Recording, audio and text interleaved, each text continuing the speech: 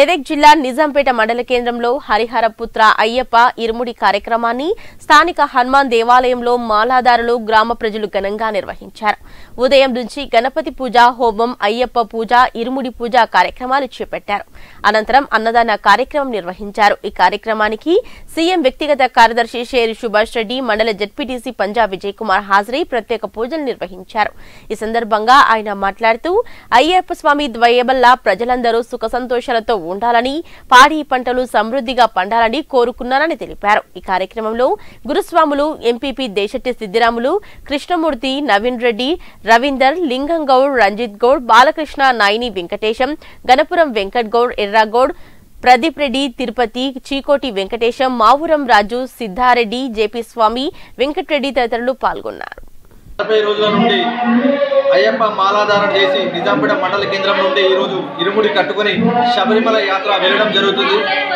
ఆ హరిహరాసుతుడు అయ్యప్ప అనుగ్రహంతో మన దేశ ప్రజలు రాష్ట్ర ప్రజలు అందరూ సుఖశాంతులతో వర్ధిల్లాలని మనస్ఫూర్తిగా కోరుకుంటున్నాము.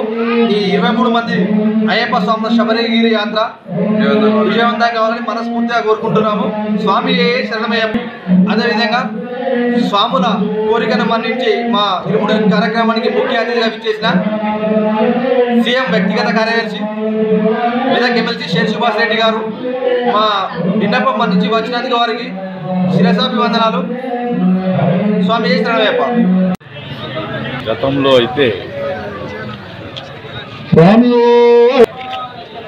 ఈ సాంకేతిక యుగంలో ప్రజలందరూ ఉరుకులు పడుతున్న కాలంలో ఈ భక్తిభావంతో అయ్యప్ప స్వామి దీక్షతో ఎవరైతే దీక్ష పట్టుకుని ఉన్నారో వీళ్ళందరూ కూడా అన్ని రకాల కామక్రోధ రకరకాల అన్ని కంట్రోల్ పెట్టుకొని నలభై ఒక్క రోజులు ఉండడం అన్నది చాలా గొప్ప విషయం.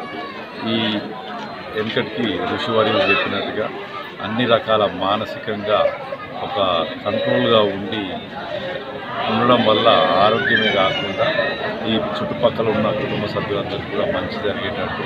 అలాగే ఈ అడావుడి కాలంలో కూడా ఇట్లాంటి కార్యక్రమాలు ఇంకో ఎన్నో చేయాలని చెప్పి ప్రజలందరూ కూడా దైవచింతలతో ఉంటే ఈ అన్ని రకాల రోగాలు కానీ తగ్గిపోతాయి అలాగే పాడి పంటలు కూడా మంచిగా వస్తాయని చెప్పి ఆశిస్తూ వీళ్ళందరికీ కూడా హృదయపూర్వక అభినందనలు తెలుపుతున్నారు